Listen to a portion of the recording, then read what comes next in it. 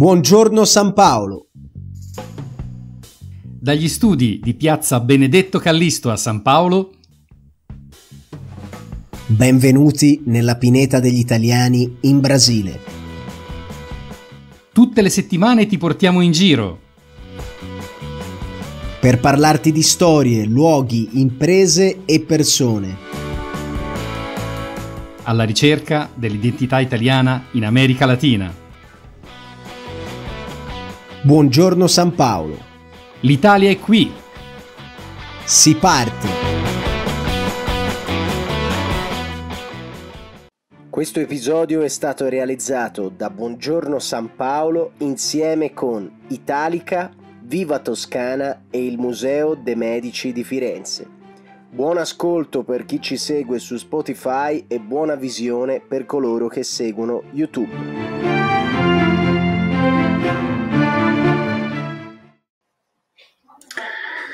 We are live. Buongiorno cari amici, cari amiche. Mi sentite bene? Mi vedete bene? Vediamo se è tutto a posto. Sì, è tutto a posto. Buongiorno José Antonio, carissima Geni, Cacco, Nadia. Buongiorno e bentornati cari amici, cari amiche. Un attimino. Ok, allora rieccoci qui per la seconda parte della nostra visita al Museo De Medici. Eh, chiamo subito il mio amico Alessandro Gaini di Buongiorno San Paolo, che è l'ideatore di questa serie di live. Buongiorno Ale. Ciao ragazzi, ciao, buongiorno, come state? Come stai Darius? Tutto bene, tu come stai Ale? Tutto bene, oggi con la maschera perché il museo è aperto. Ah, bene. Quindi ci sono i nostri amici che stanno visitando il museo in questo momento. Grande, ho saputo che fa un gran caldo in Italia, vero? sì, fa calduccio, sì, nel museo è un po' più fresco perché sono palazzi molto grandi, molto con i soffitti alti, quindi si sta meglio che per strada. Bene. Ale, senti, allora, tu dicevi che una sola live non era sufficiente, no? Perché sì. per prima cosa dovevamo raccontare in maniera breve la storia dei medici affinché la gente avesse no, un'idea generale di chi siano stati, eh, di quanto sono stati influenti nella storia italiana, no? E esatto. l'abbiamo fatto due settimane fa, vero? Sì. Sì, sì, sì, due settimane fa ma successivamente avremmo dovuto dedicare una seconda live a un tema molto importante e probabilmente sconosciuto al grande pubblico, che riguarda addirittura il Brasile. È vero sì, Ale? È sì, proprio sì, così? Allora, diciamo che per i medici servirebbero tantissime live, no? tantissimi episodi, perché la storia è incredibile, non abbiamo parlato di tante cose, delle opere artistiche che sono tantissime e di tante tante altre vicende. Però eh, abbiamo fatto un, un, primo percorso generale e oggi siamo arrivati in Brasile. Arriviamo quindi al nostro paese querido, no? eh, che, che, ci accomuna un po'. E perché? Perché oggi scopriamo la, la missione che i medici hanno voluto fare nel 600, se non sbaglio nel 608, ma 1608, ma vedremo con, eh, con Samuele, eh, che questa missione diciamo era un tentativo coloniale commerciale di esplorare delle terre sconosciute e commercialmente interessanti, in particolare il nord del Brasile, quindi la parte diciamo del, del, di Amazonas, e Parà, immaginiamo, e poi una, la parte delle Guyane, in particolare la Guyana che poi diventerà la Guyana francese. Ed è una storia che non conosce nessuno, quasi, quasi nessuno, neanche gli italiani, ecco, conoscono di questa prima, primissima eh, missione, avventura italiana nel territorio sudamericano. Fantastico. Então, hoje, pessoal, a gente nos fizeram esse pedido ao longo da semana, então a gente vai traduzindo um pouco mais o que está sendo dito. Basicamente, né, eu disse que o Alessandro, quando ele idealizou essa série de lives, ele já tinha me advertido de que uma só live não seria suficiente. Então fizemos duas semanas atrás uma live introduzindo brevemente a história dessa família tão importante, né, da família Medici, e hoje estamos de novo no museu para contar um episódio que é com certeza desconhecido pela maior parte do público, tanto brasileiro quanto italiano, que o Alessandro Sim. falou, que é justamente a, a aventura a qual a família Medici se lançou por volta do ano 1600, 1608, para descobrir novas terras, para criar relações comerciais, principalmente na América do Sul. Então, eles tiveram uh, um objetivo de criar relações com o norte do Brasil, né? E também com o território da Guiana, que depois viria a se tornar Guiana Francesa. E é isso que a gente vai descobrir hoje. Então, eu já vou chamar o resto da nossa equipe, a Babi Campanaro, Babi Campanaro, guida mm. turistica, creatrice del blog Viva Toscana. Ciao Babi, buongiorno. Ciao, buongiorno Darius, buongiorno Alessandro e a tutti Ciao, voi che siete qui con noi. Ciao, Legal. A Babi, a Babi Mi vai... sentite? Sì, ti sentiamo benissimo. Okay. E a Babi vai me ajudar também, então, nas traduções. Então, a gente vai, okay. todo bate-papo em italiano, vai fazendo as perguntas e às, às vezes a gente vai traduzindo para que todo mundo possa acompanhar bem. Sim. Tudo bem? Beleza, tudo, beleza. Tudo ótimo. Posso contar uma curiosidade aqui? Claro. Ontem, quando eu fiz a, o anúncio da live sobre esse tema, Família Médici com o Brasil, eu fiz um quiz nos stories e coloquei quatro opções. Como que o Brasil pode se conectar com, com a família Médici?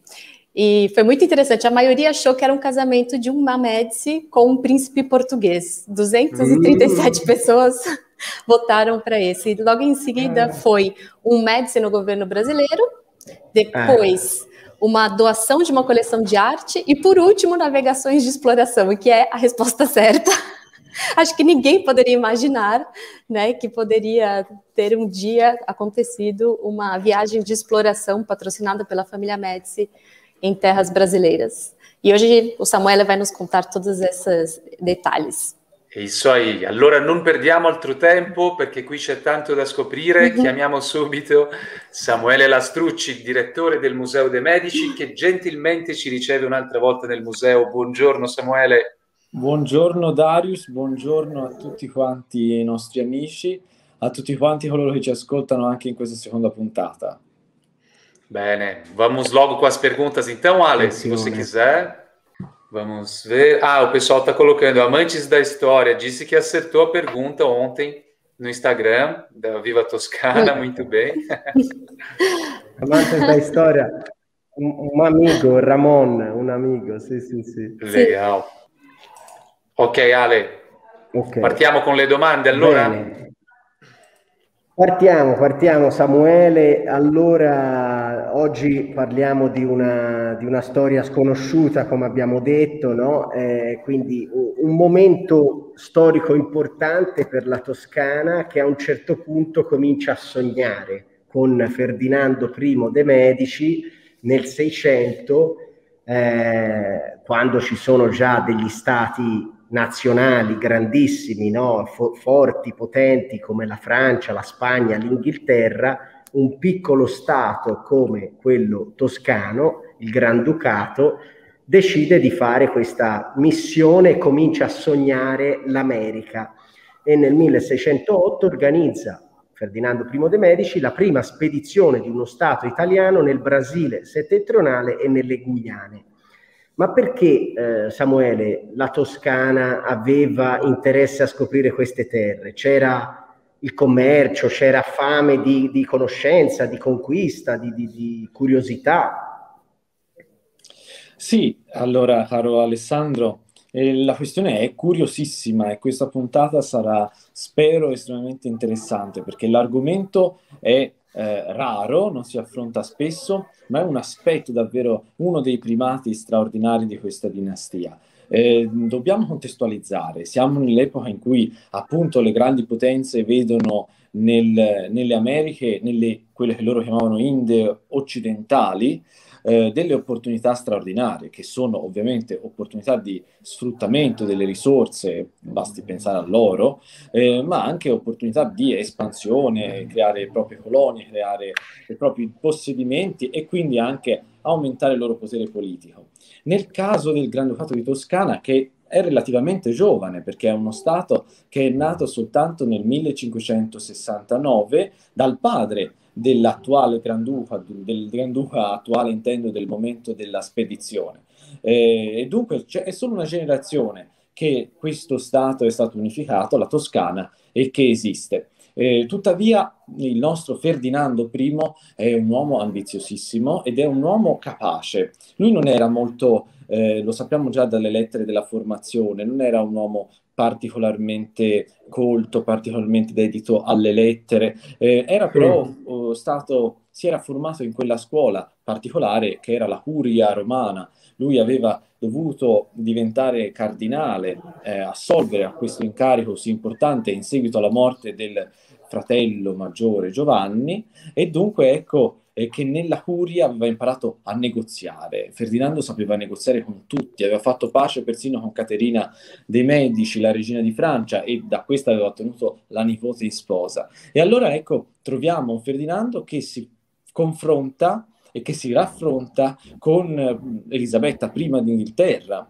eh, con Filippo II di Spagna, quindi ecco, i, il suo è un, uno Stato che si arricchisce tantissimo grazie alle sue avvedute eh, strategie commerciali. E naturalmente il cuore di tutta questa macchina che lo porterà davvero a pensare di poter concorrere con eh, imperi e con nazioni grandiose come appunto il Regno Unito e eh, la, la, la Spagna è proprio il cuore pulsante di Livorno una città di cui oggi credo che parleremo, parleremo. Esatto. Certo. Sì, sì, sì. Faço eu a tradução? Pode ser, Babi. Estava preparando ser? aqui, mas é melhor, pode falar. É, era a, o Grão-Ducato da Toscana era um estado muito uh, jovem, ele, ele estava comentando, Samuel, é de 1569. E mesmo sendo jovem e pequeno, o Ferdinando I teve essa vontade é, de de explorar o mundo como faziam potências muito maiores do que, do que ele naquela época, como poderia ser o, o reino da Espanha ou da Inglaterra. E existia essa curiosidade, esse interesse de, de visitar a, a, as Índias do Ocidente, né? Que chamava. Sim. Índias do Ocidente.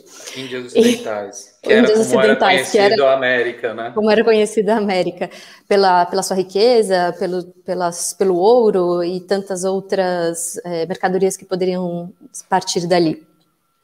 É interessante pensar, pessoal, a gente tem uma noção, nós imaginamos sempre a Itália como um Estado unitário. Lembrem-se que até então estava muito distante ainda a Itália como um Estado unitário, né? Então, o que havia era esse, esse, esse, esse estado, sim, que era o Grande Ducato de Toscana, que era muito recente. Então, imaginem que o território da Toscana era, era por si só um estado, né? E o Samuel citou também a importância de Livorno, e já já, ao longo da live, a gente vai entender melhor porque era um território tão estratégico, né? Livorno é uma cidade litorânea, é bom lembrar, na Toscana, e tinha um porto. É, você já revelou por que, que ela é estratégica. É, é isso mesmo. e, e, é muito, muito linda também. Parece também um pouco com Santos. Para mim, né? Claramente. Va bene. Eh, Samuele, tra l'altro questa, eh, questa idea che, che, Ferdinando aveva un po' eh, cominciato ad elaborare veniva già da un, da un, sogno quello di avere una colonia africana, cioè Ferdinando già stava immaginando potenziali eh, spedizioni in Africa, però poi un ingegnere fiorentino che stava a Lisbona eh, consigliò eh, a Ferdinando di eh, scoprire di creare un avamposto commerciale in Sud America perché sapeva che il Portogallo aveva già cominciato a scoprire un poco le terre e pensava che fosse anche relativamente più facile. È vero questa... Sì, il, il, personaggio toscano stanziato in Portogallo in quegli anni era Baccio da Filicaia, un personaggio legato a una, fam- a una famiglia fiorentina molto importante, eh, che tutt'oggi ha un palazzo straordinario. E, ecco, Baccio da Filicaia si rende conto che con l'avvento del nuovo secolo, quindi siamo nel 1600, ehm, le guerre di successione in qualche modo coinvolgono le grandi potenze della penisola iberica, quindi il Portogallo e la Spagna, eh, le stanno un pochino rallentando su questa straordinaria impresa di colonizzazione delle Indie occidentali. E allora ecco che suggerisce al, al Granduca Ferdinando I eh, la strategia, una strategia che è commerciale appunto, optare di questo momento di apparente debolezza delle grandi potenze per intraprendere lui stesso una sua impresa e ritagliarsi un piccolo territorio in cui costruire un avamposto sostanzialmente commerciale. Noi dobbiamo davvero abbinare il, il, il titolo di businessman al nostro Ferdinando I che alle spalle eh, è ritratto in quell'olio alle spalle di, del nostro Alessandro. Eccolo, lo, lo vediamo abbastanza avanti Ora negli anni in quel ritratto eh, ed è vestito da cavaliere dell'Ordine di Santo Stefano, cioè quella mini- milizia religiosa e militare con la quale lui aveva intrapreso tantissime missioni eh, nel mare. Pensiamo anche grande, eh, al grande saccheggio, all'espugnazione di Goa. Questa, questa avventura portò alla cattura di 1500 schiavi. Insomma, Ferdinando è davvero protagonista di ambiziosissimi progetti. Eccolo qua, lo vediamo. Al suo fianco, a sinistra, eh, due pergamene eh, riportano la firma autografa del nostro Ferdinando, sono i diplomi di investitura a quest'ordine dei cavalieri. Eccola qui, eh, scrive, no, non scrive graziosissimamente, però si riconosce FR, Medici, Magnus Dux Etruria e Magnus Magister, Gran Maestro dell'ordine dei cavalieri di Santo Stefano. Eh, sarà proprio eh, in seguito a questa segnalazione, direi, del Filicaia, che eh, il nostro Granduca affiderà a un plotone di, di, di cavalieri dell'Ordine di Santo Stefano questa sorprendente missione.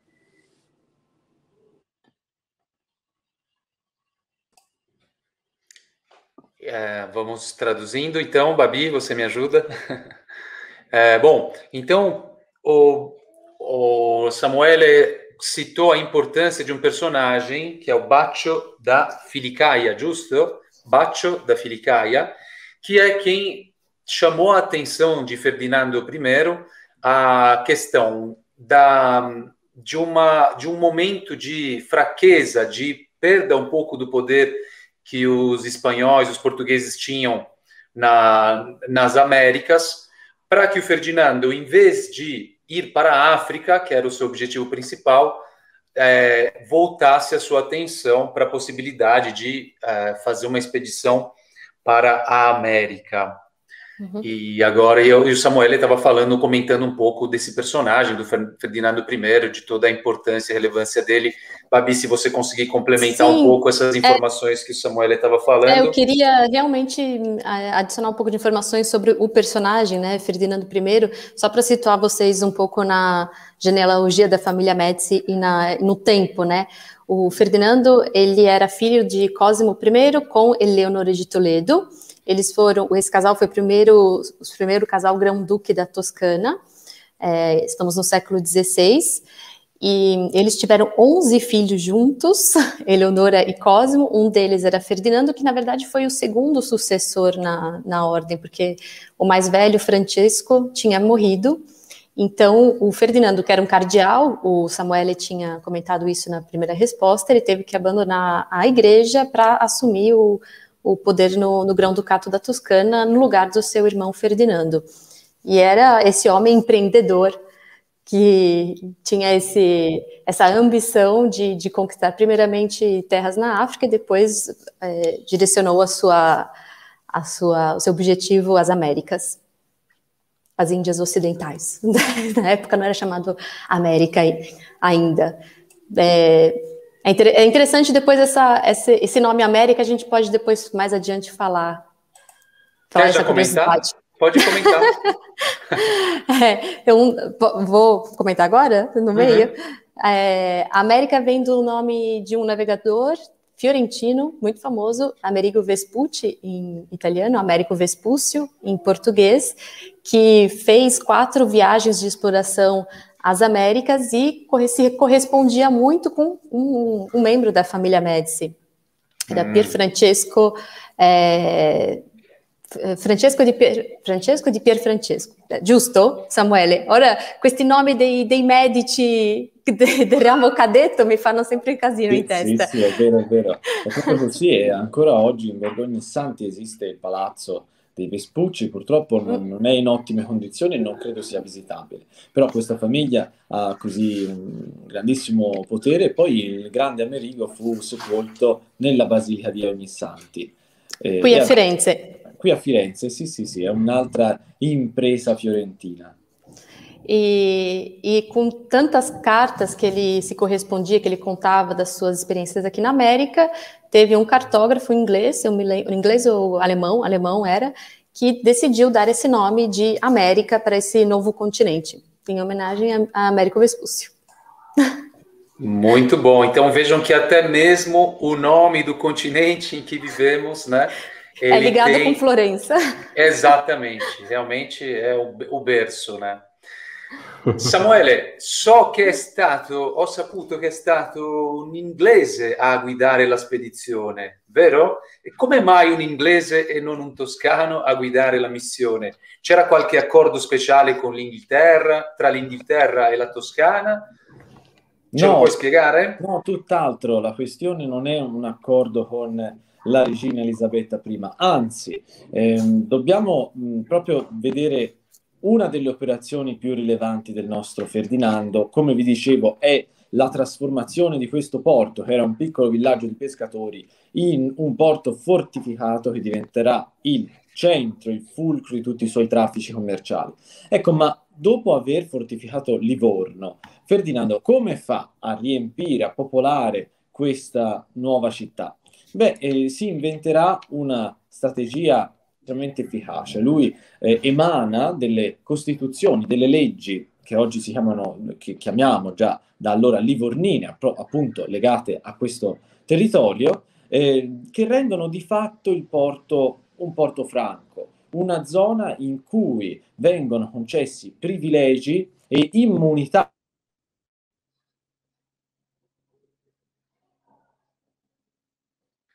Eh, bloccato. Abbiamo... Sì, sì. Um segundinho, pessoal. Samuel já vai voltar.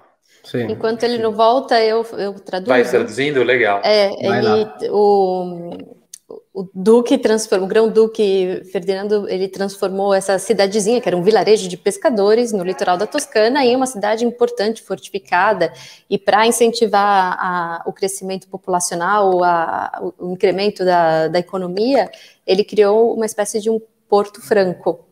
Então, é, siamo, aí ele continua.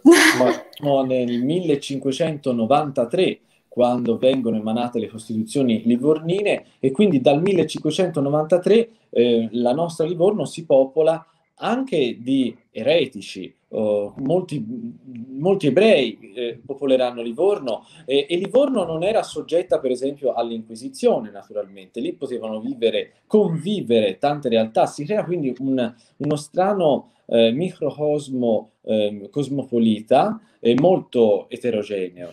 Eh, in, questa, in, questa, Livorno dunque trovano anche eh, riparo e alloggio alcuni inglesi che in qualche modo eh, sfuggivano al, a una sorta di persecuzione eh, anche penale, ecco, legata loro, alla loro patria d'origine, appunto l'Inghilterra. È il caso di Robert Thornton, che eh, sarà poi l'ammiraglio che guiderà questa spedizione nel 1608 per conto di Ferdinando I.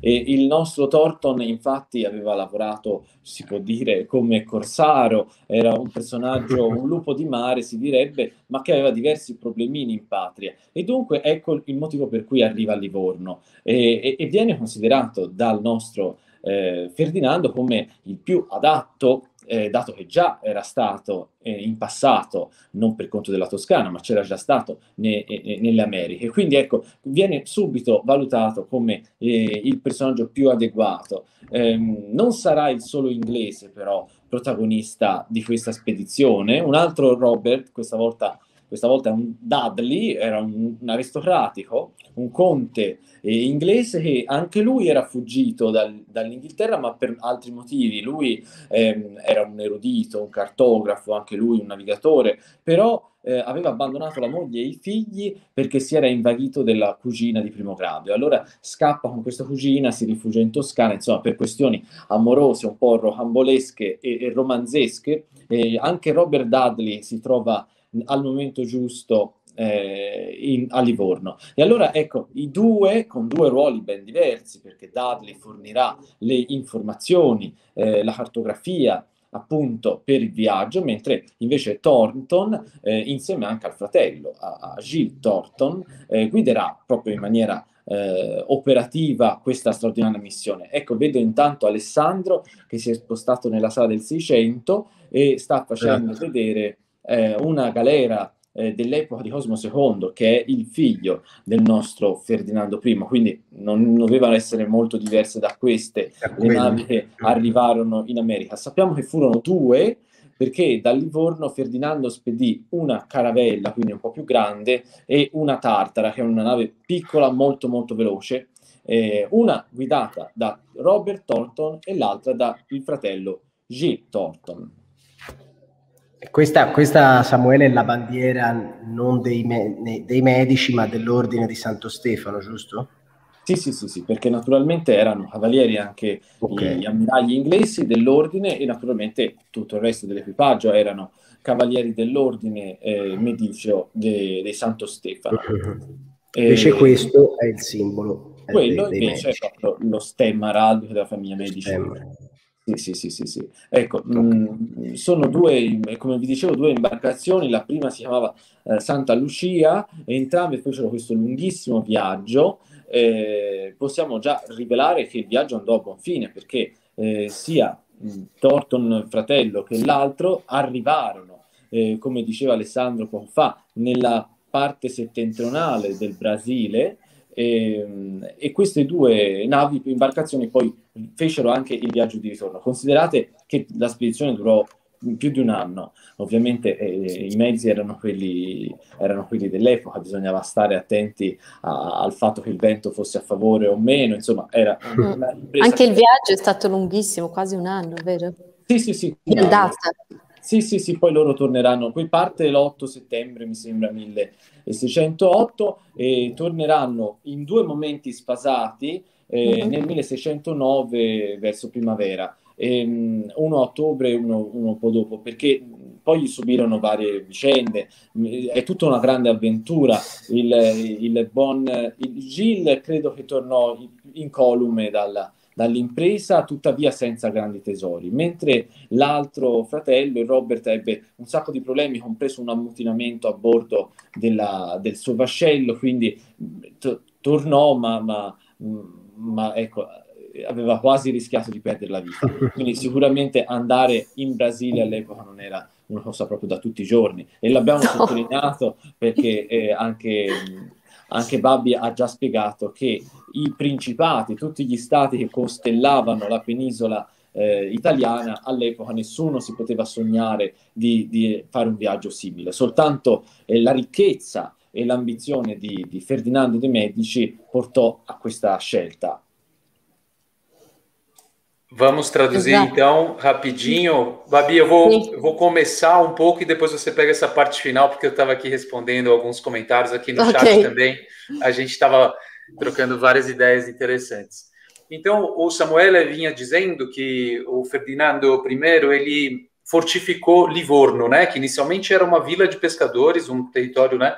Só que era, é, é, era um território que dava para o mar, né?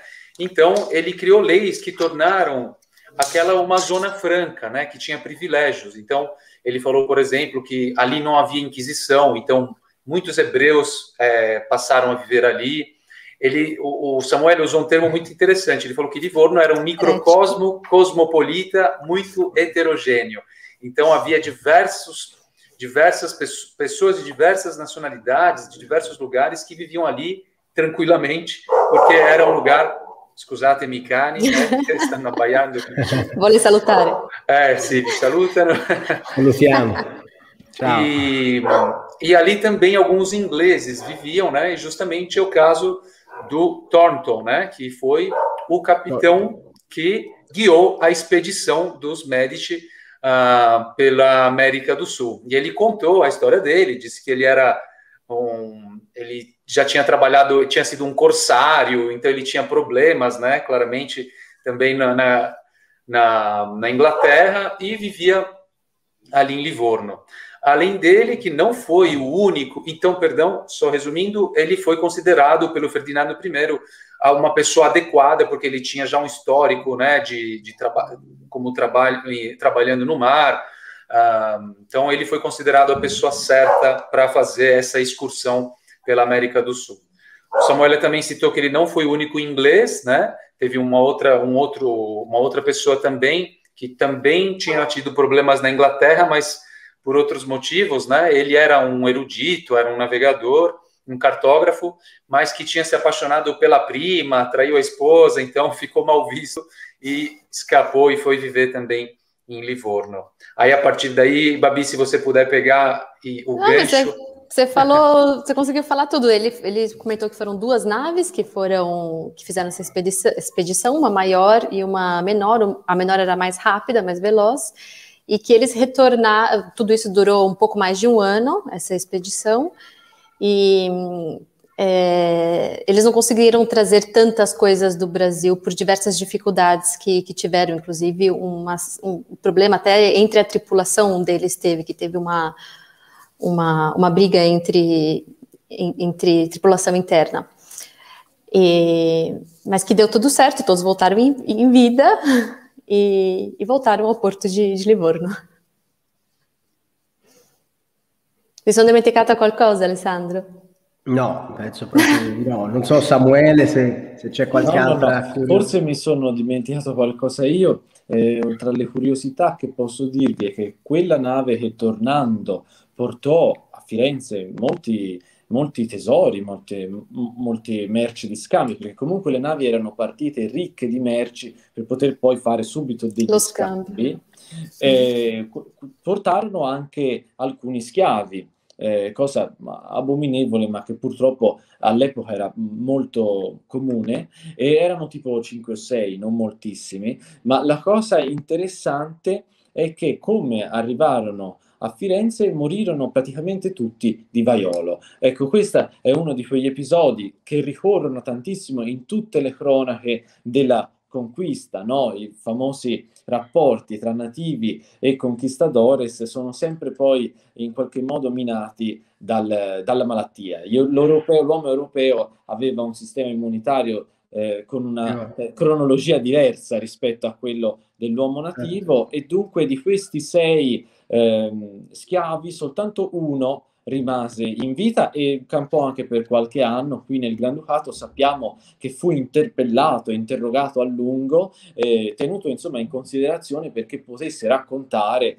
eh, di questi territori eh, appunto straordinari e, e, dei loro tesori. Ehm, forse fu anche battezzato, non mi ricordo perché erano eh, prassi in quegli anni. Però ecco, questa è una di, di, quelle curiosità. Poi, sempre di Dudley, invece, l'altro personaggio inglese di cui ho parlato, che non, non andò di persona nella spedizione, ma la organizzò, la pianificò da, da terra, Ecco, non dobbiamo dimenticarci che Dudley, intorno agli anni 40 del 600, quindi ormai il nostro Ferdinando I è già morto, eh, però anche eh, grazie a questa esperienza straordinaria, scriverà il, un libro, il Dell'Arcano del Mare, che è il primo trattato di navigazione eh, stampato in Italia. Quindi un altro primato legato alla famiglia Medici e legato a questi viaggi straordinari è proprio opera di questo erudito inglese, ma ormai naturalizzato fiorentino, perché Dudley, Sir Dudley, eh, ormai aveva ottenuto da, dal Granduca una residenza bellissima in centro a Firenze, in fondo a via Tornabuoni, esiste ancora questo edificio e, e divide due, due, strade importanti, via della Vigna Nuova e via della Spada, e, e lo fa con questa forma eh, a sprone, il palazzo proprio sembra esso stesso la, la, la, la prua di una nave, ecco, e non a caso. E oggi esiste una bellissima targa che ricorda eh, di lui, di Thornton, e un'altra a Livorno. Chiaramente una grande targa li ricorda anche a Livorno. Quindi, quindi, attenzione, non era soltanto Venezia e Genova, le famose repubbliche marinare che hanno dominato i mari, ma anche diciamo, la Toscana ha giocato un ruolo diverso, ma un ruolo importante. Samuele, e torniamo anche un po' a quello che l'amor che muove il sole e le altre stelle, no? scusate un po' la citazione, ma tutto parte dal commercio, quindi tutto si muove col commercio, no? con eh, la necessità e la, la volontà de, dei medici di eh, allargare i propri orizzonti commerciali. Ma è vero che Cosimo II aveva avuto dei rapporti commerciali con i portoghesi e poi addirittura Cosimo III fu il primo ad iniziare il commercio del cacao dal Sud America all'Italia? Questa è una curiosità abbastanza interessante. Sì, è il figlio di Ferdinando I, eh, come sappiamo, al ritorno da questa famosa spedizione eh, non ci fu un vero proseguio, eh, la colonia toscana in America non è mai esistita, fu identificata nella Nuova Guyana una possibile zona, ma quando i Thornton tornarono a Livorno il nostro Ferdinando I era deceduto. Era già morto. E, e dunque questa questa idea non fu portata in fondo, anzi Cosimo II, il figlio, eh, che vediamo in questa incisione qui dietro la, la, il vascello che sta riprendendo, esatto, Cosimo II eh, spostò questi traffici commerciali verso il Nord Africa principalmente. Eh, tuttavia i rapporti con il Portogallo rimasero, anzi io direi che si intensificarono nel tempo, perché dobbiamo considerare che Cosimo III, che sarebbe stato il nipote poi di Cosimo II, ehm, ha, ha persino valutato per un certo periodo di dare in sposo il figlio, il primogenito, Ferdinando, alla infanta di Portogallo. Eh, e questo cosa avrebbe comportato? Avrebbe comportato persino che un medici, cioè Ferdinando, si sarebbe dovuto da, da contratto matrimoniale sposa, spostare in Portogallo e diventare sovrano consorte del Portogallo. Mhm. Purtroppo fu proprio questa clausola eh, che avrebbe privato la Toscana del suo erede, cioè di Ferdinando, eh, quello che sarebbe stato Ferdinando III, a eh, rovinare i piani. Quindi Cosimo III poi ci ripensò e disse che sarebbe stato troppo rischioso per la Toscana perdere l'erede per il Portogallo. Però questo sta soltanto così a simboleggiare l'interesse davvero ai rapporti che c'erano. E, e i rapporti proseguirono anche con le Americhe. Eh, forse l'hai già accennato Alessandro, ma eh, naturalmente i traffici commerciali con le Americhe proseguirono. Noi sappiamo, per esempio, esiste un, eh, diversi ritratti di mh, nativi eh, delle Indie occidentali che, si, che, vengono fatti appositamente per i medici e spediti per le loro collezioni. Ma sappiamo anche eh, di altri rapporti, come per esempio quelli co- che commerciavano il cacao. Ecco. C'era anche una ricetta addirittura che, che, Cosimo voleva fare o ha fatto fare, insomma è una cosa un po' misteriosa questa. Sì, perché il cacao diventa una, naturalmente una primizia in voga in tutta Europa. Eh, la, la, Spagna aromatizzava la cioccolata che all'epoca si beveva solo liquida, non esisteva la cioccolata solida, lo stato solido o i cioccolatini. Ecco. E, la Spagna era famosa per aromatizzarla all'arancia, che comunque è un aroma che ancora oggi è molto in voga, mentre il nostro Cosmo III, quindi potresti andare a farcelo vedere Alessandro Cosmo III, è nella sala del Settecento, ecco proprio il signore di, di fronte a te, eh, uh-huh. Il mhm. nostro Cosmo III era un uomo molto ghiotto di cioccolata e eh, la Ele era guloso di cioccolati. Sì, sì, sì. Eh, infatti era anche opulento e fece eh, aromatizzare la cioccolata con il gelsomino, un particolarissimo gelsomino che si faceva spedire dall'India, questa volta dall'India quella vera, e, ehm, e c'era una procedura molto complessa per aromatizzare i, i, semi di cacao, che aveva studiato il suo scienziato di corte, Francesco Redi, eh, appositamente per lui. Pensate che la ricetta di questo cioccolato eh, è rimasta protetta dal segreto di Stato per tantissimi anni. Eh, adesso ovviamente la conosciamo, eh, non è facile però riprodurla, come dicevo, prima di tutto per la sostanza prima, che è questo gelsomino particolarissimo, chiamato oggi gelsomino del Granduca, appunto, che è una varietà che si trova solo in India, quindi molto, molto costosa e molto rara. Però sarebbe curioso assaggiare questo tipo di, di, di alimento, frutto de, dei grandi commerci internazionali. Davvero. Uh, Babi, você, você traduz essa parte do chocolate, foi bem interessante. É, o chocolate, quando ele, obviamente o cacau não, não tem na Europa, quando ele, come, quando ele chegou na Europa, ele era degustado mais na sua versão líquida, não existia, não existia chocolatinhos em, em barra como hoje. Na Espanha, eles gostavam muito de fazer o cacau aromatizado com laranja. Em vez aqui, é, o, o grão-duque Cosimo III, ele pediu para o seu cientista de corte, o Francesco Redi, de desenvolver esse cacau aromatizado com essa flor, como é que se chama em, em português? Que agora me, me falha. Talvez a primavera? A flor primavera, o gersomino? Hum, vediamo. É, que é um, uma espécie de primavera que só se encontra nas Índias, então é muito Jasmine, raro. Né? Jasmine. Jasmine. Jasmine. E, e, enfim, por muito tempo essa receita ficou como um segredo do, do grão ducato. Então, o Cosimo III, ele que, come... que fez esse movimento de trazer o, chocolate né, da América do Sul para a Península Itálica. Né? Vejam só, hoje uma coisa tão banal, né? A gente vai no mercado, tem chocolate à vontade. É. Claramente, antigamente não era assim, e lógico, uma, um produto né, que tão amado, claramente era muito mais especial naquela época, né?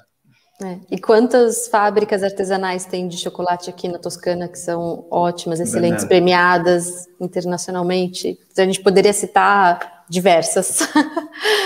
É. Isto também, né, Babi? A gente sempre pensa chocolate e fala Turim, Piemonte, Perugia é. também, que tem o festival, né? Uhum. Mas, mas, a Toscana também tem muita tem. chocolate artesanal. Muito, muito. Uma coisa parecida aconteceu também com café, né? Café também foi trazido das Américas, da, da África, e aqui eles fazem de um jeito excelente o café. É a, a, expedição, só para traduzir bem o iníciozinho da, da resposta, a expedição do, do Ferdinando I acabou não tendo é, continuação, porque quando as naves retornaram, logo em seguida ele faleceu e o seu filho, o Cosimo II, não quis dar continuidade a esse projeto do pai. Então, por isso que até tinha, havia sido identificada uma possibilidade ali nas Guianas, mas de, de ter uma terras, mas é, foi abandonado. Porém, essa, essa ligação continuou com Portugal, inclusive quase que o filho do Cosimo III, chamado Ferdinando, que Médici, como eu disse para vocês na outra live, tem um monte de Ferdinando, um monte de Cosimo, confunde um pouco, então a gente está bem no fim, né, entre 1600 e 1700, o filho de Cosimo III, que se chamava Ferdinando, deveria se casar uma princesa de Portugal, e só não foi uh, feito esse casamento porque o Ferdinando teria que é, assumir o, o, reinado de Portugal e abandonar o grão-ducato da Toscana. Então, por isso, o casamento não foi é, feito. Outra curiosidade muito interessante. Bene, molto bene. Ehm, Samuele, ci sono almeno tre curiosità eh, che oggi vogliamo un po' svelare, insomma raccontare su questo rapporto tra la Toscana e eh, il Portogallo, diciamo, poi dal Portogallo eh, anche in Brasile, però abbiamo detto il, gli scambi commerciali esistevano, c'era una, una, rotta molto battuta tra Livorno e Lisbona, se non sbaglio, non so se, se, se confermi. E poi ci sono anche altre curiosità, ora piano piano ne, ne vediamo qualcuna, eh, probabilmente quella più uh, affascinante riguarda un'altra spedizione toscana eh, nel mondo lusofono, non a fini coloniali e né commerciali, ma religiosi addirittura. E raccontaci un po' quello che è successo eh, grazie a Cosimo III che spedì una cosa un po' particolare eh, nella terra di, di Goa, eh, appunto in Asia, in India. E cosa è successo? Cosa ha fatto Cosimo III di così, diciamo, eh, diverso e interessante? Eh, allora, il nostro Cosimo III aveva un'ossessione, erano le reliquie, lui aveva una grande eh, passione per il collezionismo di reliquie ed era un uomo estremamente religioso. Eh, forse questo suo, mh, questo suo tratto caratteriale, così fortemente ostentato, è anche frutto di una strategia ben ponderata. Lui sapeva che ormai il Granducato all'inizio del Settecento non era più uno Stato con quel potere che aveva all'epoca di Ferdinando I, in cui vi ho detto si, si rivolgeva direttamente a Filippo II, a Elisabetta I.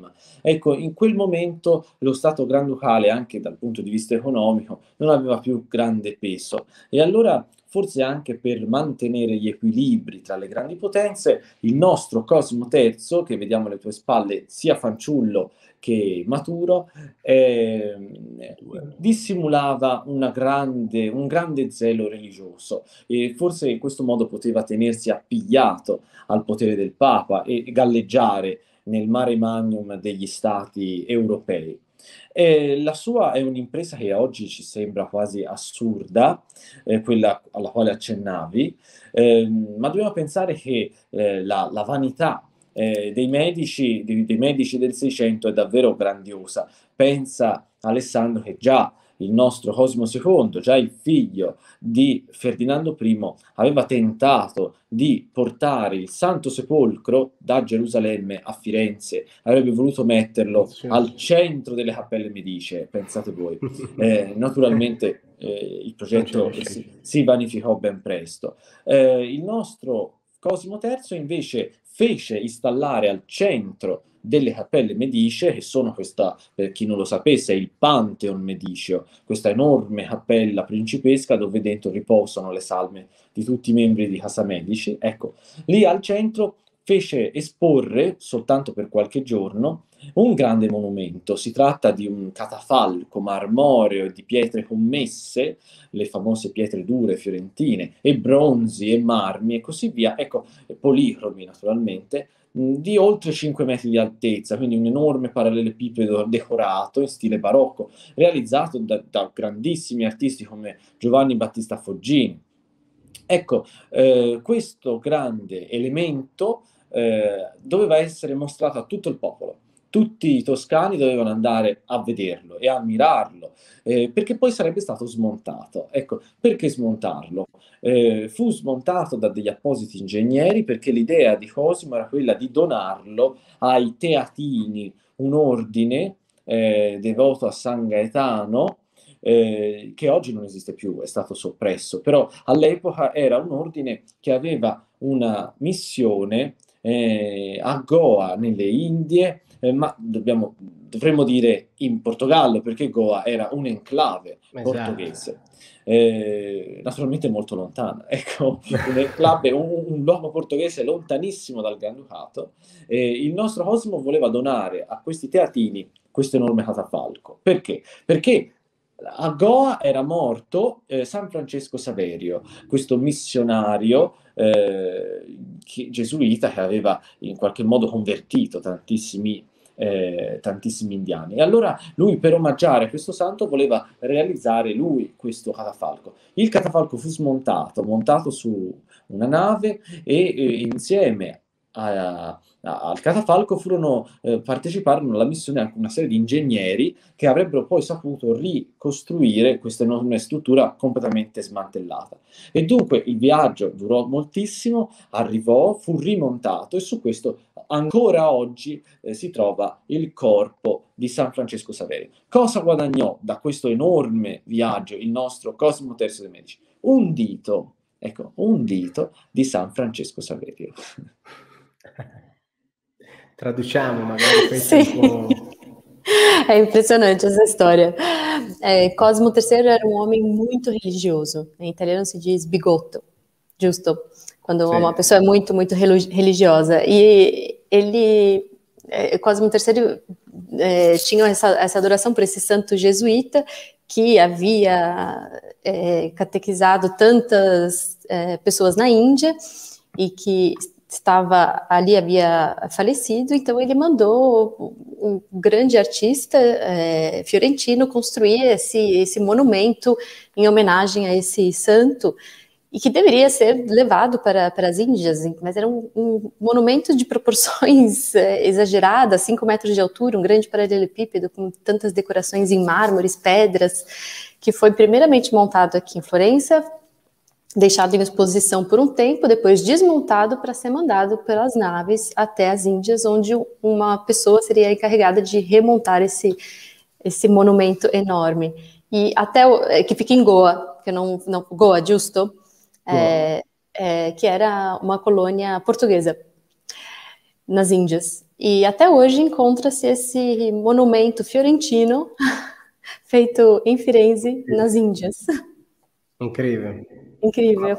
Não, não dá para conhecer todas essas. Uh, Só o Samueles para saber tudo isso. É, exatamente.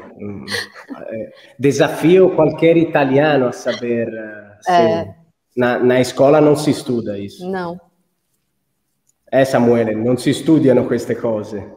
No, normalmente. Questi, ma anche perché la storia dei medici è considerata un po' storia locale, ormai l'Italia è unificata, è uno Stato solo, quindi a scuola noi studiamo la storia d'Italia, non la storia dei singoli sì. stati che la componevano. Eh, però ecco, le, le, avventure dei medici sono sempre sorprendenti e io mi appassiono sempre a ricercare queste strane imprese che, che ovviamente ora noi oggi mettiamo la luce su quelle legate alle Indie occidentali, all'America, al Portogallo, ehm, ma in realtà insomma furono coinvolti. Opa. Sì, abbiamo per- perso. Abbiamo per perso Samuele, sì. sì. Eccoci. Eccoci. Eccolo. Eh, la prima missione giapponese in Europa eh, fu ricevuta a Firenze eh, dai medici. Quindi ecco, mh, davvero i rapporti internazionali di questa famiglia furono, furono numerosissimi. La prima delegazione, diciamo, diplomatica sarebbe? Sì, sì, la prima delegazione eh, diplomatica, sì, sì, sì. Del Giappone, ok. Se volete tradurre anche questa parte, forse. Ah, ma a, a, primeira expedição japonesa aconteceu em Florença, junto da família Médici. credo que a primeira muito... expedição japonesa na Europa, né? Foi, Europa, exato. Foi também para para Toscana e foi, foram recebidos pela, pelos Medici também. Muito interessante. Realmente não fazia ideia dessas informações. Sim.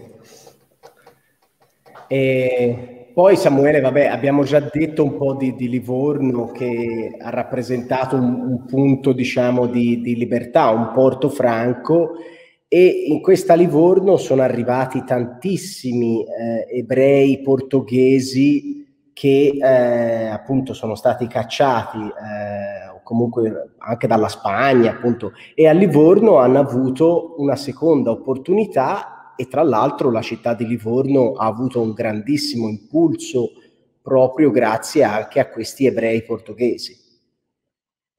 Certo, certo, sì, la comunità giudaica eh, labronica era enorme, è grande anche oggi. Eh, naturalmente la maggior parte degli stati dopo la Controriforma eh, si occupa eh, di discriminazione nei confronti di giudei e, e in qualche modo penalizzano anche i loro affari commerciali. Noi sappiamo che quello ebreo è sempre stato un popolo estremamente certo. laborioso e, e, e, quando si trovavano in grande privazione, eh, anche e soprattutto nella cattolicissima eh, penisola iberica, ecco, che allora in Livorno potevano trovare un'occasione di riscatto. E sono tanti gli ebrei che fecero fortuna, perché a Livorno, come dicevo, proprio non esisteva nemmeno la diocesi, la diocesi stessa di una città così antica per Firenze è, è soltanto, risale soltanto all'Ottocento, perché proprio non ci doveva essere nessun controllo da parte della Chiesa o dell'Inquisizione, non esisteva un indice di libri proibiti,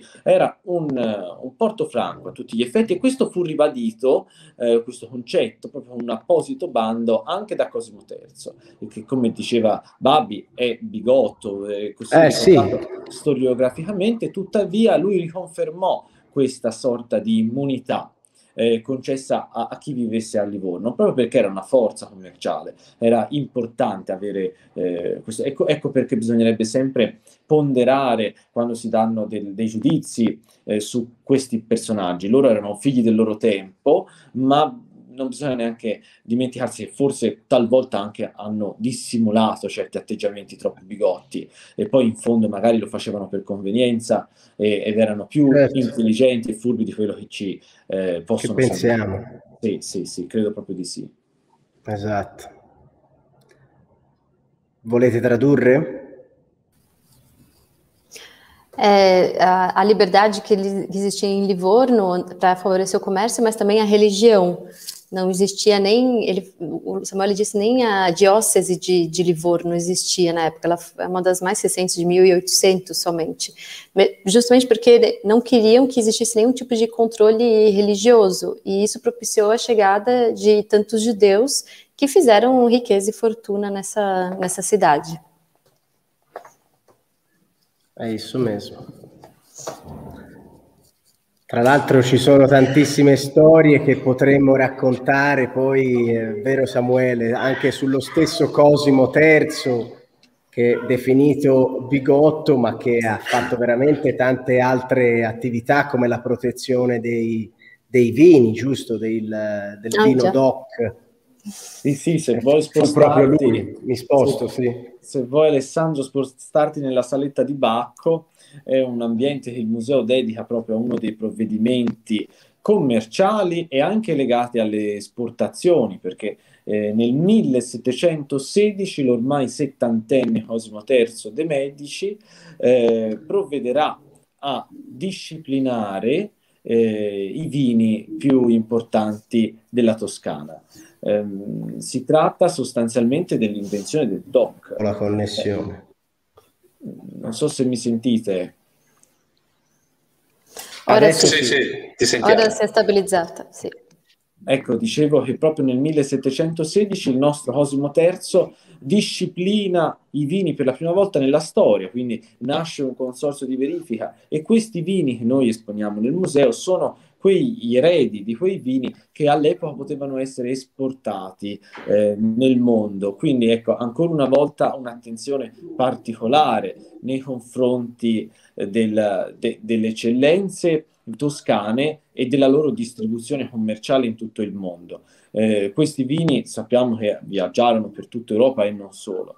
E, in questo tentativo di promuovere un'eccellenza toscana, cioè il vino, Cosmo fu coadiuvato anche da un pittore di corte come Bartolomeo Bimbi, che dipinse tutte le varietà di acini di uva, e anche dall'archiatra Francesco Redi, eh, il medico personale di, di, di, Cosimo III, ma che era anche un ottimo poeta e che scrive un poema dedicato al vino toscano, il Bacco in Toscana. In questo poema Redi condanna le bevande eh, delle Americhe e, e, e, dirà che appunto il caffè, il cioccolato, il tè, ecco, erano delle cattivissime bevande eh, adatte soltanto agli indios, ai nativi, e tutt'altro che degne di, di un europeo, di, di, un, di un medici tantomeno. Ma è, sono soltanto bugie perché sappiamo benissimo che Cosimo III e tutta la sua corte si riempivano di, di, di queste bevande, tant'è che poi lo stesso Francesco Redi dovrà mettere a dieta Cosimo III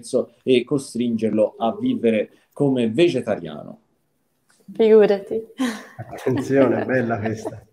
É, talvez para o brasileiro esse conceito de DOC não seja muito claro, porque nós não temos no, no Brasil, mas esses selos de, de garantia de qualidade dos vinhos é, são sempre é, ligados a um território específico de uma, de uma região. Então, aqui na Toscana, por exemplo, o Chianti clássico só pode ser produzido dentro do Chianti clássico. A mesma coisa acontece com o Brunello de Montalcino. Não é que eu posso produzir Chianti clássico no Vêneto.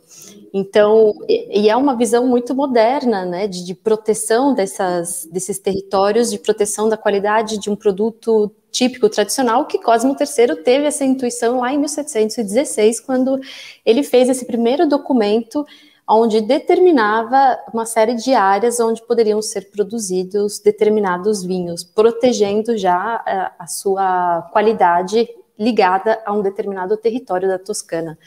Então, é, um personagem que ao mesmo tempo era, era muito religioso, se fazia ver muito religioso por conveniência, mas que tinha uma série de intuições do ponto de vista do comércio, é, Interessante. esatto. No, fantastico, fantastico, potremmo stare tutto il giorno qui a, ad ascoltare, a imparare. E, dove Ale? Ah, eccolo. Ok. È fantastico. Vi ringrazio, ringrazio Samuele, è stato un vero piacere conoscere questo museo. Abbiamo imparato tantissime cose e ce ne sono sicuramente ancora tante da imparare, quindi non appena sarà possibile visiteremo il museo di persona, almeno io, Giuliano e gli amici di Italica, perché so che Alessandro e Babi, ecco, siamo qua. Blocco, e, e addirittura Addirittura ho già acquistato il mio biglietto anticipato yeah. e vi ricordo che lo potete fare anche voi, eh? Então, como eu falei na última live, né, nós já compramos, eu e o Juliano já compramos o nosso ingresso antecipado, né? E vocês Sim. também podem fazer. Aqui embaixo tem o site, vocês estão vendo. E in questo modo potete aiutare il museo che dopo alcuni mesi no, di inattività sta riaprendo le sue porte e così assicurare la vostra visita quando sarete in Italia. Então, é fantástico. Exato. Vocês podem aqui pelo site do Museu de Medici já adquirir o bilhete de vocês, vocês ajudam o museu que está retomando as atividades depois de não um tempo fechado e já garantem o ingresso de vocês para quando forem para Firenze, né?